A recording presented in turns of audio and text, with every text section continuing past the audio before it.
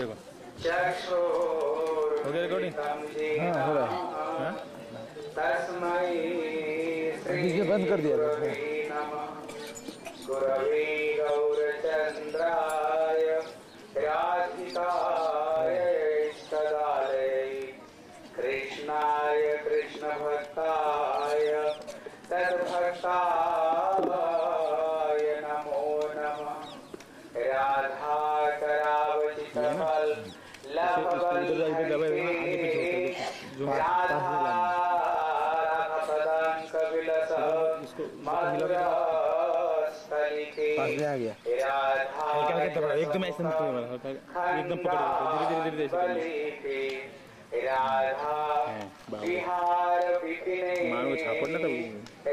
हाँ, धीरे-धीरे करना एकदम खींच रहे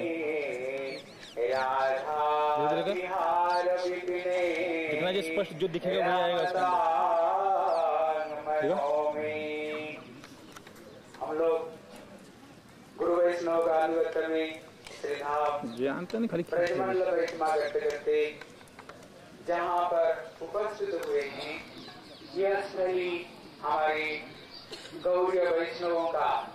जिस जिस प्रेम को श्रीमद चैतन्य महाप्रभु अनर्पित चरण चिराज पर नयावतीर्ण कलो समर्पयितु उन्नत उज्जवल रसान तो श्रीमद महाप्रभु कलयुग में जो अनर्पित चरित्र जो प्रेम है जो जय जय ज्वल रस सर्वर संसार खोटा में में এখানে মেয়ে আছে কোথায় মেয়ে রসায়নগুরু আছে जो पर क्या भाव रूप में जो की हो जी? प्रचार है जो उन्नत उज्जवल रस को जो केवल श्रीमान चैतन्य महाप्रभु ही इसी जगत में वो प्रस्तुत किया है तो कहाँ देगा? जगत भी दूसरे दूसरे संप्रदाय में राधा কোথায় দেখো আমি কোথায় বেরো গেলে আমি উপর বেরো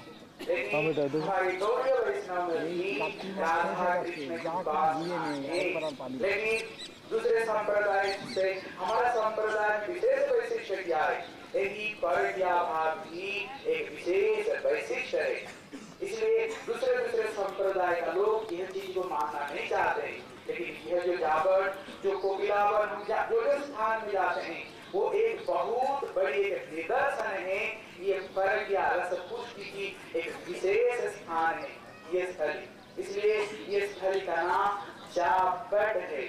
जापट बा जापट। जापट मतलब होता है जो बट वृक्षों के नीचे, यहाँ पर एक विशाल, बहुत बड़ा बट वृक्ष था। इस बट वृक्षों के नीचे श्री श्याम सुंदर कवि उनको होश होश बिल्कुल नहीं रही। इतने में राधा रानी। सबको छोड़ छाड़ करके यहीं पर श्रीमती किशोर जी आए। जब यहाँ पर आए इतने में श्याम सुंदर ने देखा श्रीमती किशोर जी का तो सर्व अंग संपूर्ण अलंकार से विभूषित है लेकिन केवल अपनी गोपियों ने उनको चरण में भी महावर पहना अलता पहनाना का था इतने में कन्या ने बंसी बजाए और जब राधा रानी यहीं पर आए जापर जाबत होता है एक वृक्ष का नाम होता है जाबत है जो पत्ते को श्याम सुंदर ने अपना हाथ में जैसे मेहंदी पत्ती पता होता है। ऐसे अपना हाथ में घीस करके जिससे ऐसे रस निकलता है जिसका रंग अल- अलता अलता जैसे। श्याम सुंदर ने अपना हाथों से श्री किशोर जी के चरणों में अलता उन्होंने पहना दिया। इसलिए इस स्थान का नाम जा- जाबत है। यह स्थली यह स्थली एक विशेष रसपुष्टि स्थान है। जिस समय अभी राधा कृष्ण पे अभी शादी होने का है। सब कुछ बात हो गया। वृषभ महाराज नंद बाबा के साथ में। इतने में जोग माया ने देखा, अगर इनमें शादी हो जाएगी ना, ये पर ग्यारह से संपूर्ण नष्ट हो जाएगा। इसलिए महाप्रभु बोलते हैं ऐसा लीला करूँगा जे सब वैकुंठ आदि जे नाही लीला प्रचार। फिर ऐसी लीला करूँगा जो वैकुंठ आदि में भी जो लीला नहीं है, जो लीला को देखकर लोग चमत्कार हो जाए। इसलिए वो देखा अगर इनके तरफ़ शादी हो जाएगी फिर तो परिचय भाव इसलिए जो माया देखा तो गड़बड़ी हो जाएगी और कोरोना जो माया के बिना आदर्श तो थोड़ा कुछ होता ही नहीं। इतने में जब ऋषभ महाराज नंदो बाबा ने उनको जन्म पत्र दिखाने के लिए गए देखो हमारा बेटा बेटी का शादी अगर होएगा ज़िंदगी भर सुखी रहेंगे ना ज़िंदगी भर झगड़ा क्या करेंगे इसलिए सुखी रहेंगे क्या पूर्णमास शारदा से पुष्टि करने वाले उन्होंने देख करके बोला खबरदार इनको शादी करने अगर हमारा अंदर में शादी हो जाएगी, फिर तो परिक्रिया भावी मिलन का जो उत्कंठा नष्ट हो जाएगी। इसलिए ये जोग माया के द्वारा मैं ये सब काम करा रही हूँ। देखो, जब हम ग्रहण कर रहा हूँ, जब तुम माला प्रदान करोगे, मैं ऐसे सिर कर दूँगा और माला उसको गला में नहीं देकर मेरे गला में माला दे देना। पास वहाँ पर हँसी दिले कुछ पता नहीं चलेगा। हाँ हाँ मैं भाणीजा लगूँगा। इसलिए कोई चिंता मत करो। इसलिए कृष्ण ऐसे बोल दिए इसलिए यहीं पर उनको शादी हुई। और वृषभानु महाराज श्री राधा रानी के लिए यहाँ पर विशाल वृषभान महाराज बहुत बड़े धनाट्य यहीं पर उन्होंने विशाल गगन चुंबी यहाँ पर एक सुंदर राजमहल बनाए। इतने सुंदर उन्होंने राजमहल बनाए, जिसमें तोते, राजहंस, मयूर इतने सुंदर बनाए। आकाश में जब राजहंस तोते उड़ करके जाते थे, लगता था साक्षात रूप में कोई। इसलिए आकर के उस मंदिर में चुंबन करते थे।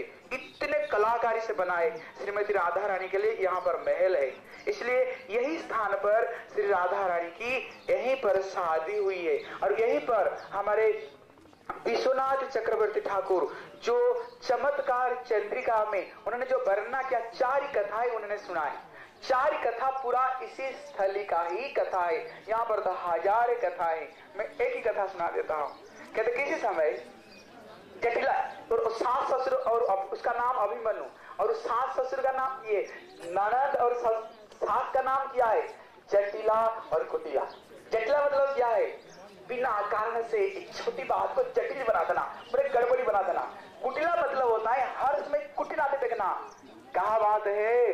कहा गई थी? क्या कर रही थी? हर समय कुटिला थी। क्योंकि जब तक प्रेम में बाधा नहीं हो, तब तक मिलन में उत्कंठा नहीं होगी इसलिए सारे योग माया की ही आरेज है। सारे योग माया की ही। इसलिए जो वस्तु दुर्लभता में प्राप्त तुमको जाकर के नंद भवन में रोटी बनाने का। क्योंकि राधा रानी को वरदान मिली थी दुर्वासा से, वो अमृत हंसता है।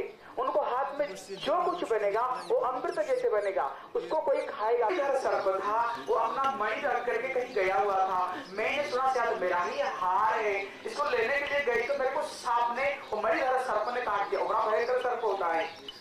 यही पर आकर राधा रानी लौट पोट खाना निकल लगे जाऊँगी। कौन सा सांप है? वो काला सांप है वो कन्या सांप है वही काटे हैं। अभी राधा रानी यहीं पर लौट पोट खा रही है। जटिला बुटला सुन करके बोले मेरे अभी तो हमारा बहू मर जाएगी। क्यों बड़ा विषधर सर्प के क्या होगी? इधर ने कृष्ण क्या किया? यहाँ पर पौर्णमासी को घर में एक विद्यावली नाम के एक स्त्री का रूप धारण करके ओझा बन करके उनको घर में क्योंकि कुछ ज़रूरत तो वहीं पर जाकर उनको बुलाते हैं। इतने में जटला बुटला दौड़ दौड़ कर गए। बोले पौर्णमासी जी मेरे बहू को तो सांप काट दिया है अभी क्या किया जाएगा अब तो मर जाएगी कहते हमारा घर में जो मैं पौर्णमासी हर समय राधा कृष्ण को मिलन कराने का सारे काम उसी की है कहते मेरे घर में अभी आई है ये विद्यावली इसको ले जाओ अच्छे मंत्र जानता है, सांप की जहर को उतारने का। इतने में विद्यावली आए। अभी कृष्ण स्वयं बने हुए विद्यावली बन करके अभी राधा ने किस, कौन सा सांप काटी है? कृष्ण की बिरह रूपी सर्पों को काटा है। अभी आकर के बोले, देखो, एक काम करता हूँ, बोले, क्या काम है? कहते, ये जो सांप होता है, ये शंकर जी का सांप होता है। शंकर जी का कहा, देखो, मैं इनको तड़फड़ा कर, तड़फड़ा करके मारना चाहता हूँ। पहले इसको बहू को मारूँगा।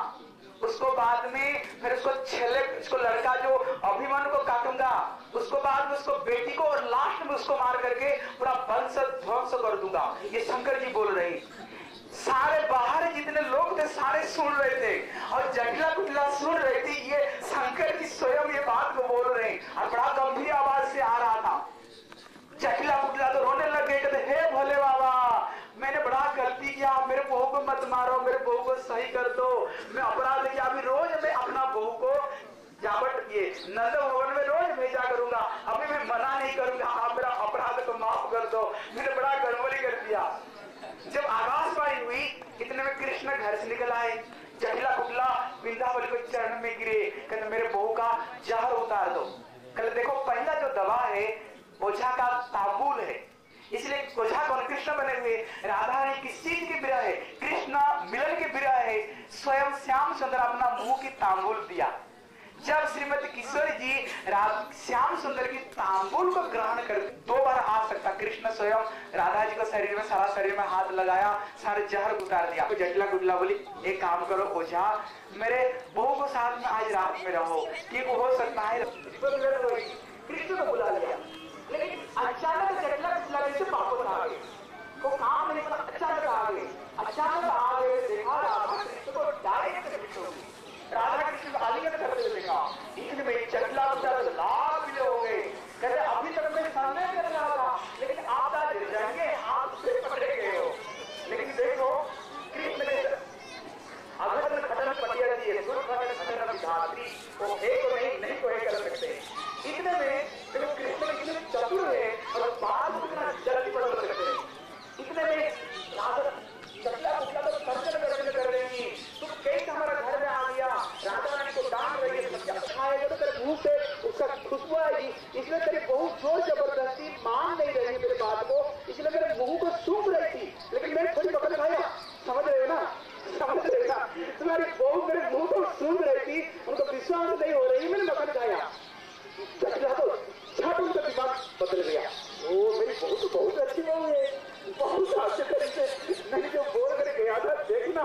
बहुत अच्छी तरीके से यहाँ पर अच्छी अच्छी तरह से यहाँ रखवाली कर रही थी इसलिए मेरी बहू सही है देखो कृष्ण कितना जल्दी बात को बुलाया यहीं पर ही श्याम सुंदर कवि राधा जी के पास में पत्र लिख रहे थे लेकिन वहाँ पत्र में अभी केवल राम शब्द लिख रहे थे लेकिन केवल राम शब्द को श्याम सुंदर रात भर नहीं लिख पाए रात भर राधा रंगा विरह में र- र- श्याम सुंदर राधा जी का नाम राम शब्द नहीं लिख पाए रात भर राधा जी का चिंता में विभोर हो गए उनको आ- आँखों का आँसू से पूरा वो पत्ता भर गया लास्ट में उसको बंद करके उन्होंने राधा जी के पास में भेज दिया राधा जी ने जब पत्र को खोली तो तो प्रेमांश भक्ति के अश्रु राधा रानी पूरा अश्रु को देखकर समझ गई ये राधा कृष्ण का भावना कैसे राधा रानी शब्द नहीं लिख पाए केवल पत्र में कल की सेवा करने का हमारे अधिकार मिलेगा। इसलिए स्थली अत्यंत पवित्र, निर्मल और अपना घर ही है। इसलिए हम लोग यहाँ पर आए। अभी भी उनका लीला युक्त चरण मूल्य अभी भी पड़ा हुआ, यहाँ का चरण मूल्य अपराकृत दिव्य चिन्मय है। यहाँ का एक धूलि ही हमारा सारे हृदय की कामना पूरी कर सकती है। इसलिए यहाँ पर श्रीमती ईश्वर की श्रीमती उनको गाना के चरण में, श्री गुरु वैष्णव के चरण में प्रार्थना करेंगे, कभी ना कभी हमारा ऐसे सौभाग्य हो। जैसे कि यहाँ पर हमारा साथी होकर के श्री राधा रानी को हम सेवा कर सकते बोले